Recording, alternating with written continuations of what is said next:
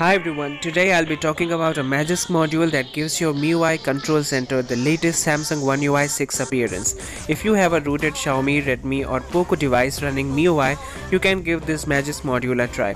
It basically modifies the System UI plugin app and your quick settings panel or control center and volume slider gets a different look. Yes, it also changes the way how your volume slider appears. Instead of taking over your entire screen, it only shows up as a compact box when expanded with three vertical sliders, one each for media, notifications and alarm. You also get two buttons to turn silent and DND mode on and two sliders for setting quick timers.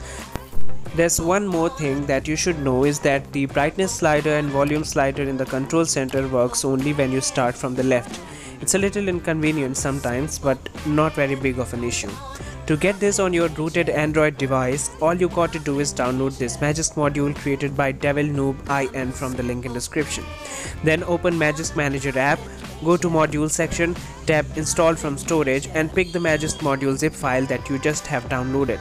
Tap OK in the following prompt to confirm installation and the module should begin flashing. You'll have to select your device's MIUI version by using volume keys during the installation. If you're on Android 13 based latest MIUI 14 or running Chinese variant of MIUI, you'll need to take some extra steps to get the module working. In such a case, you'll first make sure to have either Zygisk enabled from the Magisk Manager settings or Riru module installed.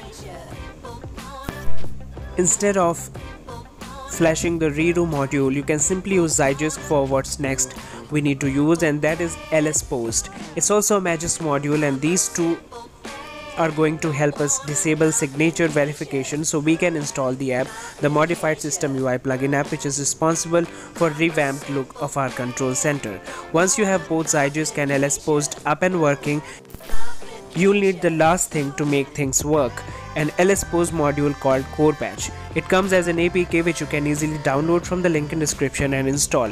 Then you can open LSPosed Manager, go to Modules and enable Core Patch module. Now you can easily install unsigned APKs but make sure you trust the app before you install one such. You can scan the app on an antivirus software like VirusTotal etc.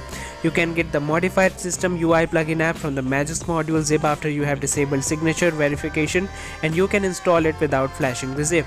So that was it. Hope you'd like the video and if it's the case be sure to hit like and subscribe to my channel for more cool stuff. Peace.